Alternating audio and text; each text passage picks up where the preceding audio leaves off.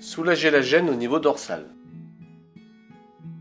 Donc, c'est toutes les tensions qui vont se situer entre la fin des cervicales et le début des lombaires.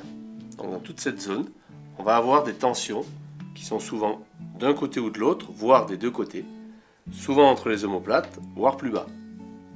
Donc là, c'est très simple, on va venir de part et d'autre de la colonne vertébrale, patcher la zone perturbée.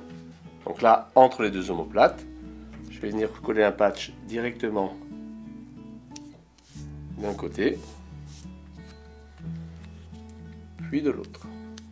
Cette zone est en tension derrière, il va falloir venir sur l'avant, prendre un point au-dessous de l'appendice xiphoïde. Donc là, si j'appuie, il y a le sternum. Là, j'appuie, je sens l'os. Et puis là, ça y est, je suis dans le mou. Et eh bien, on va venir sur la pointe de l'os, patcher cette zone afin de libérer la tension postérieure.